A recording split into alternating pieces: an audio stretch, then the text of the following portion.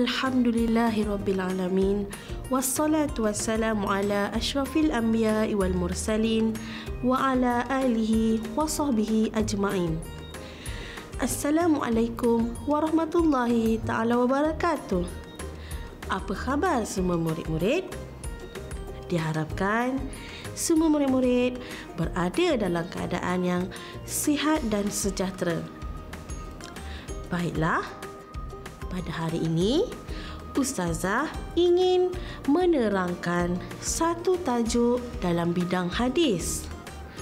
Tapi sebelum Ustazah menerangkan dengan lebih lanjut, Ustazah nak murid-murid perhatikan gambar ini. Murid-murid tahu tak apa yang terdapat dalam gambar ini?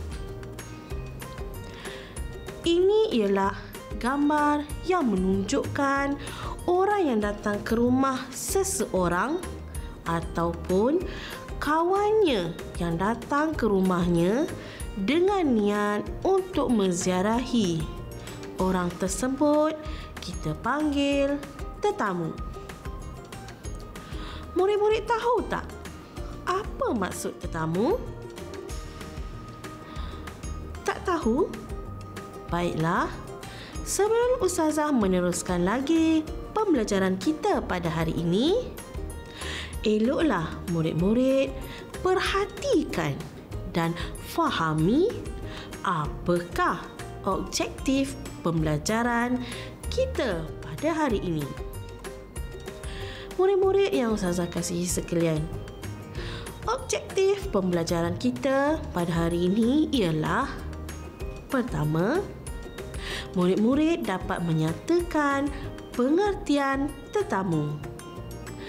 Kedua, murid-murid dapat menerangkan tuntutan hadis yang terdapat dalam hadis. Yang ketiga, murid-murid dapat menjelaskan adab-adab memuliakan tetamu. Yang keempat, murid-murid dapat menghuraikan kesan baik mengamalkan adab dan akibat tidak mengamalkannya. Yang kelima, mencadangkan tindakan terbaik untuk menghormati tetamu. Baiklah murid-murid, Sebelum Ustazah menerangkan lebih lanjut tentang tajuk ini, Ustazah hendak membaca satu hadis berkenaan dengan memuliakan tetamu. Dengarkan ya. Qala Rasulullah sallallahu alaihi wasallam ومن كان يؤمن بالله واليوم الآخر فليكرم ضيفه Rawahu Muslim. Bermaksud Dan sesiapa yang beriman kepada Allah dan hari akhirat Maka hendaklah memuliakan tetamunya. Oleh yang demikian Daripada hadis yang kita baca tadi Jelaslah bahawa Tuntutan hadis ini adalah kewajipan kita memuliakan tetamu kerana perbuatan ini merupakan bukti keimanan kita kepada Allah dan hari akhirat. Murid-murid yang saya kasihi, perintah memuliakan tetamu ini disebut secara am. Ianya tidak disebut tetamu muslim, tetamu kaya, tetamu berpangkat dan sebagainya. Ini bermakna tugas kita memuliakan tetamu tanpa mengira tetamu itu miskin atau kaya, hodoh atau cantik, berpangkat rendah atau tinggi, bukan muslim atau muslim. Semua yang bertandang wajib dimuliakan. Apa pula maksud memuliakan ya murid-murid? Ha, maksud memuliakan tetamu pula adalah menerima kedatangan tetamu, melayani dan memastikan keselesaannya sepanjang dia bersama kita. Dalam Islam, kita dituntut untuk melayan tetamu yang hadir ke rumah kita dengan layanan yang baik sebagaimana tuntutan hadis yang dibawa oleh Nabi sabda Rasulullah sallallahu alaihi wasallam yang bermaksud Sesiapa yang beriman kepada Allah dan hari akhirat hendaklah memuliakan tetamu dengan memberi layanan kepadanya. Sahabat bertanya, "Apakah layanan itu wahai Rasulullah?" Rasulullah menjawab, layanan istimewa selama sehari semalam dan tempoh layanan sebagai tetamu hendaklah dalam masa tiga hari. Layanan yang diberikan selepas tempoh itu dikira sebagai sedekah. Murid-murid dalam hadis ini, Rasulullah telah menerangkan tentang layanan istimewa terhadap tetamu dan tempoh masa yang wajib iaitu tiga hari melayan tetamu dengan istimewa. Walaupun Islam begitu menitik beratkan perihal memuliakan tetamu, namun, Islam juga melihat kepada tuan rumah ataupun orang yang menerima tetamu itu di mana tamu tidak boleh memberati ataupun menyusahkan tuan rumah. Tengoklah murid-murid, betapa mudahnya kita mendapat pahala jika kita mengikut apa yang Nabi dah ajar kepada kita. Sangat mudah kan? Baiklah, sekarang Ustazah nak bertanya sekali lagi. Soalan Ustazah di awal pelajaran tadi iaitu apakah maksud tetamu? Murid-murid tak tahu? Hmm, baiklah. Ustazah akan terangkan. Tetamu ialah orang yang berkunjung atau menziarahi orang lain sama ada dijemput atau tidak. Atau orang yang diundang untuk menghadiri atau menziarahi sesuatu majlis atau jamuan. Ya, murid-murid semua mesti pernah menerima tetamu datang ke rumah murid-murid. Betul tak? Tidak kira lah. Sama ada ianya kawan ibu dan kawan bapa kita. Atau kawan kita sendiri yang datang menziarahi kita. Ataupun tetamu yang hadir ke rumah kita untuk menyambut hari raya. Atau juga tetamu yang datang menziarahi semasa kita dan ahli keluarga kita sakit. Jangan lupa ya murid-murid, orang yang datang ke sekolah juga merupakan tetamu yang kita wajib santuni dan layani dengan baik. Seperti tetamu yang kita undang untuk merasmikan sesuatu majlis di sekolah murid-murid. Apakah hukum kita memuliakan tetamu? Dan mengapa kita mesti memuliakan mereka ya?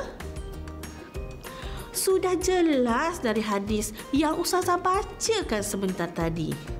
Kita wajib memuliakan tetamu kerana ia merupakan tuntutan Allah dan Rasulullah tindakan kita memuliakan tetamu juga membuktikan kita beriman kepada Allah dan hari akhirat serta salah satu cara kita mengamalkan sunnah Rasulullah sallallahu alaihi wasallam yang sangat memuliakan tetamu. Selain daripada itu juga, jika kita memuliakan kedatangan tetamu, insya-Allah kita akan mendapat rahmat dan juga kebaikan serta dijauhkan dari sebarang kemudaratan. Baiklah murid-murid sekalian, Ustazah akan terangkan akan adab-adab melayani tetamu. Adab yang pertama, menyambut kedatangan dengan mesra dan gembira. Hmm, macam mana tu? Ya, menyambut dan mengalukan kedatangan mereka kalau boleh di muka pintu atau di halaman rumah. Sebagai tuan rumah, kita hendaklah menjemput tetamu masuk dan menunjukkan kemesraan dengan muka yang manis, menggunakan bahasa yang sopan dan baik ketika bercakap. Ha, siapa boleh sebutkan ucapan terbaik untuk menyambut tetamu yang hadir? Pandai. Bagus. Seperti selamat pagi, jemput masuk. Baiklah, yang kedua, memberi salam dan bertanya khabar. Memberi dan menjawab salam adalah wajib. Maka, tetamu dan penerima tetamu mesti menjawab salam dengan jelas. Seterusnya, bertanya khabar sama ada tetamu atau orang yang menerima tetamu hendaklah menjawab perkhabaran dengan sopan. Yang ketiga, menyediakan tempat yang bersesuaian untuk tetamu. Murid-murid, kita mestilah menjemput tetamu duduk di tempat yang baik seperti di ruang tamu yang telah dikemaskan dengan bersih. Mempersilakan duduk di tempat yang paling selesa jika tetamu wanita.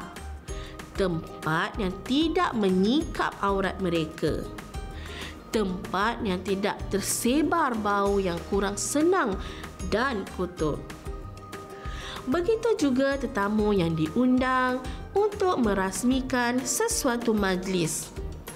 Sediakanlah tempat yang sesuai kepada para hadirin yang hadir pada jemputan itu. Baiklah murid-murid, yang keempat, menyediakan juadah. Tetamu dah datang, juadah mesti disediakan. Ya, sediakanlah makanan dan minuman yang terbaik kepada tetamu yang hadir. Tidak kira sama ada ianya makanan yang berat ataupun makanan yang ringan. Dalam Islam, sediakan jamuan mengikut kemampuan kita. Makan bersama-sama tetamu. Jaga tingkah laku ahli keluarga ketika makan jangan mengemas meja sebelum tetamu selesai makan. Jangan menjamu selera secara membazir dengan berbelanja di luar kemampuan kita. Ha, satu perkara lagi murid-murid. Memandangkan negara kita adalah masyarakat yang majmuk yang terdiri dari pelbagai bangsa dan kaum kita hendaklah berhati-hati dengan cuadah yang kita hidangkan dan menghormati adat dan juga kebudayaan kaum yang lain. Ini adalah untuk mengelakkan rasa tidak senang hati dan mengekalkan perpaduan sesama kita. Yang kelima, memberikan layanan yang baik dan ikhlas. Layanlah tetamu yang hadir dengan sebaik mungkin seperti bercakap lemah lembut, memperlahankan suara dan sentiasa memberikan senyuman yang manis kepada tetamu. Kita hendaklah rasa gembira dan berlapang dada atas segala kedatangan tetamu serta tidak merasa kedatangan mereka mengganggu perjalanan kehidupan dan aktiviti harian kita. Oleh kerana itu, dalam Islam, kita dituntut untuk melayani mereka sebaik mungkin apabila kita menerima mereka sebagai tetamu kita. Maka tidak menjadi kesalahan sekiranya kita menolak permintaan orang yang ingin datang ke rumah kita sekiranya kita tidak bersedia atau mempunyai kekangan atau masalah seperti tidak sihat atau dalam keadaan yang letih. Baiklah murid-murid yang Ustazah kasih sekalian. Semasa kita melayan tetamu kita, jangan lupa untuk menjaga batas-batas pergaulan bersama tetamu. Hmm, apa batas-batas pergaulan tersebut? Ya, batas-batas pergaulan yang kita jaga semasa tetamu ialah Pertama, memakai pakaian yang menutup aurat. Bersih, kemas. Dan ini sangat penting sekiranya tetamu yang datang itu bukan mahram kita. Sekiranya tetamu yang datang itu mahram kita seperti ibu saudara kita, ayah saudara, datuk atau nenek kita, memadailah kita memakai pakaian yang sopan. Tetapi, jika tetamu datang ke rumah itu bukan mahram kita seperti sepupu, kawan ataupun jiran tetangga kita, wajiblah kita menjaga aurat kita supaya tidak dilihat oleh mereka. Murid-murid masih ingatkah hukum menutup aurat dan batasan aurat lelaki dan juga perempuan? Ingat kan? Bagus. Jadi amalkan kewajipan menutup aurat ini walaupun kita berada di rumah kita sendiri. Menjaga suasana rumah supaya tidak mengganggu ketenteraman tetamu elakkan daripada bising dan riuh rendah dalam rumah yang didatangi tetamu. Tetamu akan merasa tidak hormat dan tidak selesa untuk terus kekal berada di rumah sebegitu. Sekiranya berlaku situasi adik-adik, murid-murid yang berlari di ruang tamu, apa yang perlu murid-murid lakukan terhadap mereka? Hmm, fikirkan. Yang ketiga, elakkan daripada melakukan sesuatu yang menjatuhkan maruah. Jangan sesekali kita menjatuhkan maruah tetamu yang hadir ke rumah kita. Walaupun orang yang datang itu kita tidak suka sifatnya.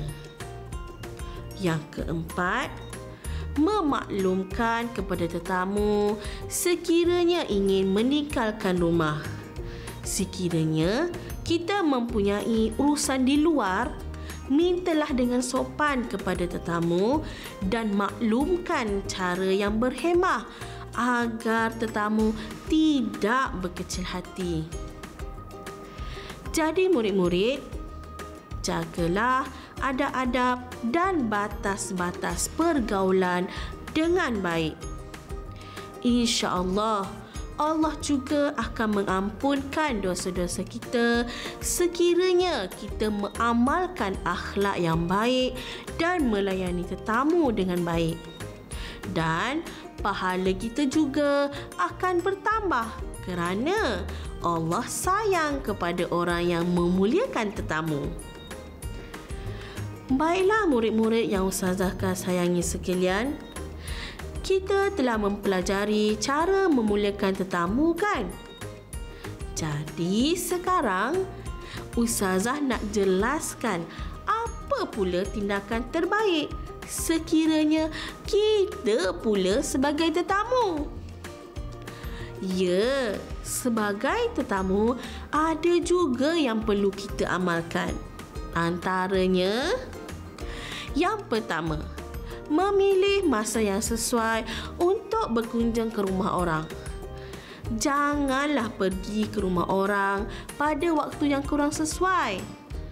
Seperti waktu makan tengah hari. Kerana dikhawatiri tuan rumah tiada makanan untuk dihidangkan kepada kita.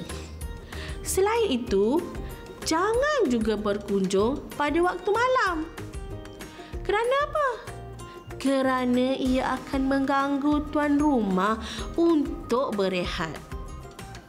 Yang kedua, membawa buah tangan kepada tuan rumah yang kita ziarahi seperti buah-buahan, biskut atau apa sahaja yang mampu kita sediakan sebagai tanda kesopanan dan penghargaan kita kepada tuan rumah yang sudi menerima kunjungan kita. Yang ketiga, menjaga akhlak dan tingkah laku kita yang berada di tempat orang lain. Kita hendaklah bersopan ketika berada di rumah atau tempat orang. Gunakan perkataan yang baik dan sentiasa meminta izin jika kita perlukan apa-apa seperti hendak ke tandas dan sebagainya. Keempat, kita juga hendaklah menjaga kebersihan dan jangan mengotorkan tempat yang kita ziarahi. Ringankan tulang untuk membantu tuan rumah sekiranya kita lihat mereka perlukan bantuan. Selepas minum atau makan, sebaiknya kita bantulah untuk mengangkat pinggan mangkuk ke tempat yang sepatutnya. Bukankah itu lebih baik? Yang kelima, kita juga hendaklah mengucapkan terima kasih dan menerima layanan tuan rumah seadanya. Kita sepatutnya bersyukur kerana tuan rumah masih sudi melayani kita. Jadi, pastikan sebelum kita pulang, ucapkanlah perhargaan kepada tuan rumah kerana sudi menerima kita sebagai tetamunya. Dan jangan lupa, jemputlah pula mereka ke rumah kita. Keenam, doakan kesejahteraan tuan rumah sebagai tanda terima kasih kita kepada mereka yang melayani dan menerima kita sebagai tetamu. Amalan ini boleh menambah kasih sayang serta mengeratkan silaturahim sesama kita. Sekarang, Mari kita lihat pula apakah kepentingannya jika kita memuliakan tetamu. Apakah kebaikan yang kita perolehi sekiranya kita mengamalkan tuntutan hadis memuliakan tetamu.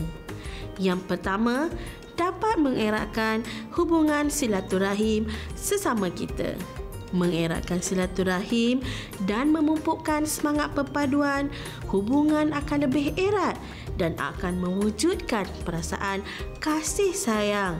Amalan menghubungkan silaturahim ini sangat dipandang tinggi dalam Islam. Bertambah kasih sayang antara tetamu, tuan dan tuan rumah yang dikunjungi. Kedua, mendapat pahala kerana mengamalkan sunnah Rasulullah. Menyambut dan melayan tetamu juga adalah sunnah Nabi Muhammad sallallahu alaihi wasallam kerana Nabi sentiasa dikunjungi oleh sesiapa sahaja yang mempunyai keperluan dan Nabi tidak pernah menolak permintaan. Nabi kita sentiasa memberikan layanan terbaik kepada tetamunya. Nabi sallallahu alaihi wasallam sangat menggalakkan kita agar mengikuti sunnahnya iaitu melayani tetamu dengan baik. Yang ketiga, mengukuhkan perpaduan. Sikap ini akan meninggikan lagi syiar Islam di mana orang-orang bukan Islam akan dapat melihat tingginya akhlak seseorang Muslim ini dan sekaligus semangat menarik minatnya kepada Islam. Di samping itu, ia akan mewujudkan dan mengukuhkan perpaduan di antara dua pihak. Tetamu dan tuan rumah tanpa mengira bangsa, agama atau fahaman.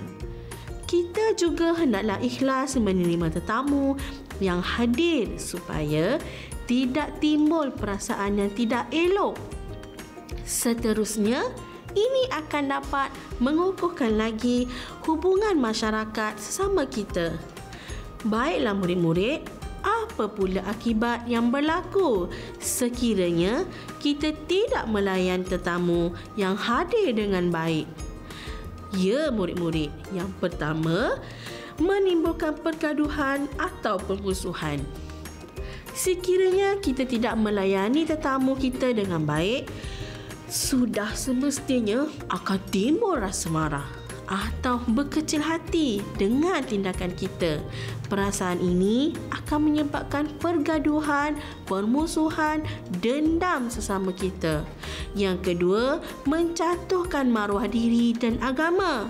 Ini kerana sikap tidak mengendahkan tetamu dan melayani mereka dengan buruk akan disampaikan kepada orang lain.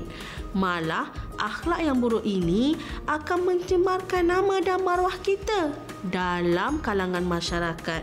Seterusnya, mencemarkan agama kita.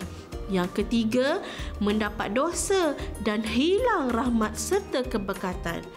Tuntutan muliakan tetamu adalah suruhan Allah. Oleh kerana itu, jika kita melanggar perintah Allah, maka kita telah mendapat dosa. Tambahan pula, tidak akan mendapat rahmat dan keberkatan. Murid-murid masih ingat apa yang Ustazah beritahu di awal tadi? Bagaimana kedatangan tetamu akan memberikan kita pelbagai rahmat dan kebaikan. Ustazah harap murid-murid dapat mengaplikasikan adab-adab yang telah kita pelajari sebentar tadi serta dapat diamalkan dalam kehidupan harian secara istiqomah dan beradab. Baiklah, untuk menguji kefahaman murid-murid tentang tajuk yang telah kita pelajari pada hari ini, Ustazah minta murid-murid senaraikan adab-adab melayani tetamu. Senaraikan dalam bentuk perteminda dan murid-murid boleh serahkan kepada guru hasil tugasan murid-murid. Aktiviti seterusnya, Ustazah nak semua murid-murid memberikan cadangan atau apakah tindakan kamu sekiranya keadaan berikut berlaku dalam kehidupan seharian kamu. Antaranya ialah yang pertama, kawan ayah dan ibu kamu datang ke rumah kamu. Tetapi kedua orang tua kamu tiada di rumah. Apakah tindakan kamu? Kedua, kawan dan ayah kamu datang ke rumah bersama anak-anak mereka yang masih kecil dan agak nakal. Mereka berlari-lari dan mengambil alat permainan kamu sesuka hati. Apakah tindakan kamu? Dan yang ketiga, rumah kamu ditarangi oleh orang yang tidak kamu kenal dan ingin menumpang bermalam di rumah kamu.